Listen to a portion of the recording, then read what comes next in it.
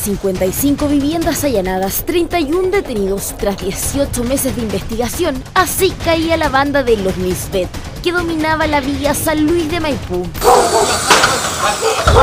Con potentes herramientas PDI entró a las casas. La mayoría estaban blindadas. Además de encontrarse un importante sistema de vigilancia cerrado, en su interior habían drogas, armas, municiones y más.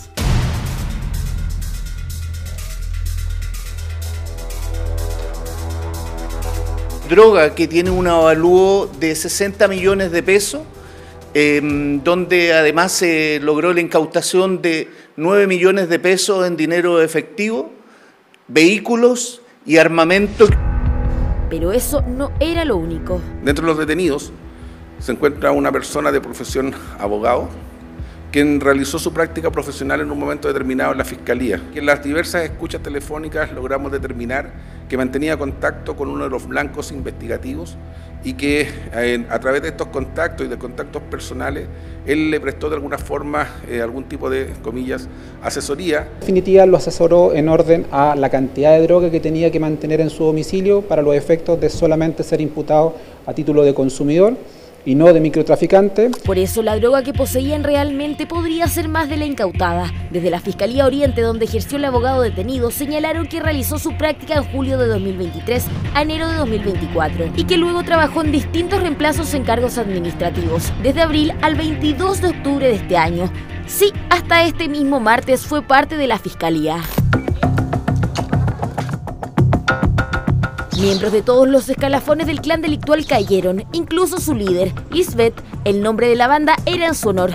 Ella fue detenida en Yayay, vivía una cómoda vida gracias a su ilícito negocio de drogas. Logró adquirir bienes muebles como vehículos, como también inmuebles, incluso de recreo en, en parcelas donde construyó casas con bastantes lujos Hoy los vecinos dicen dormirán tranquilos, temen hablar en cámara, aseguran que estos delincuentes eran amos y señores del barrio. Todos les temían porque incluso serían autores de homicidios. En el principal lugar de venta de esta organización ocurrió un homicidio, producto precisamente de conflicto entre bandas reales.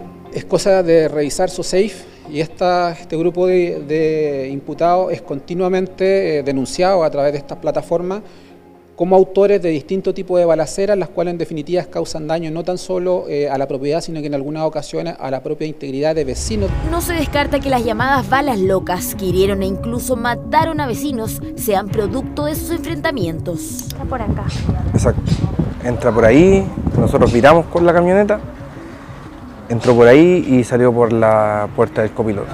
Balas mal llamadas perdidas que incluso han afectado a los niños del barrio. Camino a la casa de sus abuelos escuchando música cuando comenzaron los disparos.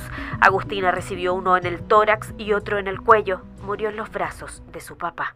Todos los detenidos de esta banda enfrentarán a la justicia el lunes. Tras la operación Reconquista, esta villa hoy se llena de esperanza.